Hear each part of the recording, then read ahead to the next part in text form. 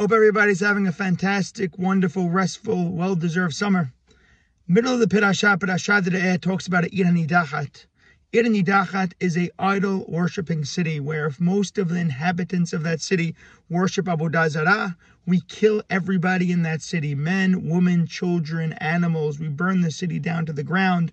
We take all the money in the city, we burn it down to the ground. No benefit can be had from that city whatsoever.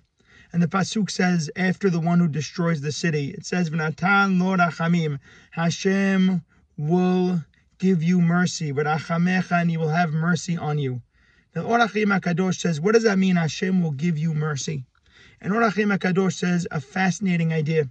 He says that when we act in a violent manner, then we naturally start to have violent tendencies and we start to be less merciful.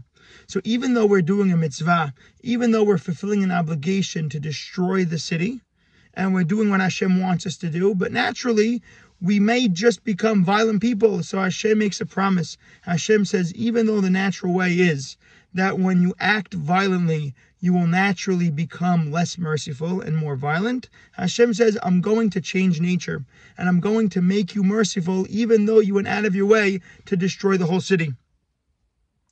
There's an idea that the way we act eventually will be the way we become. Rav Moshe Feinstein brings down very interestingly. We know there's a aveirah tza'ar ba'alei chayim. We're not allowed to pain other animals. And he brings down that we're not allowed to kill bugs for no reason. If we're out in the stream, we see a bug, we can't kill it because we're not allowed to cause pain or kill animals if it's not for our own need. But if it's tzorech adam, if there's a reason why we need to kill the animal, whether it's for food, whether it's for their skin or their leather or their fur, or even if a bee is bothering us or an ant or spider is in our home and it's causing us, you know, just hassle or annoyance, then we're allowed to kill the bug.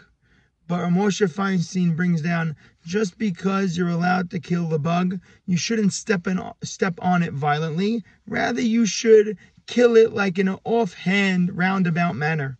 Because even though we're allowed to kill the bug, if we step on it with aggressiveness, then inside it'll eventually penetrate and make us into an aggressive, violent people. So just because something's allowed, and yes, the bugs in our home, the spiders in our home, we can kill the bug, but try to do it in a light manner, in a non-aggressive manner, because the way we act will eventually penetrate and become the way we are.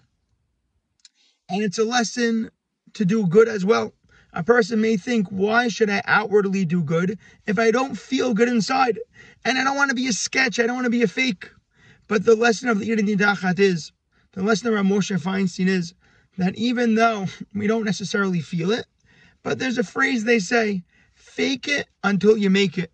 Even though I'm not there yet, but act superficially out act outwardly in that manner, and eventually you'll penetrate for better or for worse. Bezrat Hashem, we should not only act the way we're supposed to act, but ultimately see it penetrate as well. Shabbat Shalom.